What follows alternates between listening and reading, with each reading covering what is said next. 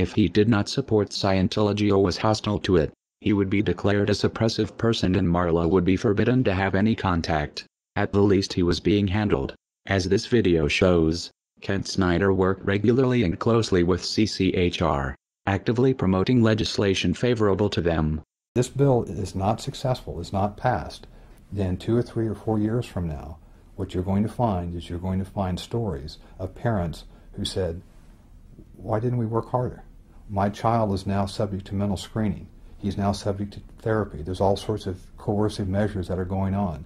So the time is now. Parents need to understand that, and we're going to do everything we can to, to, to fight against it.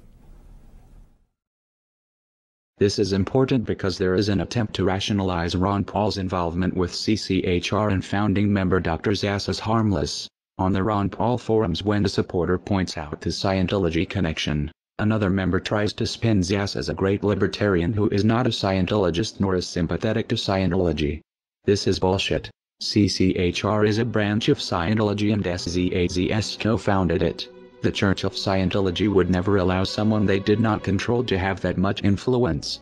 The CCHR website was registered by Scientologist Amber Smayataki. Most of the board are Scientologists.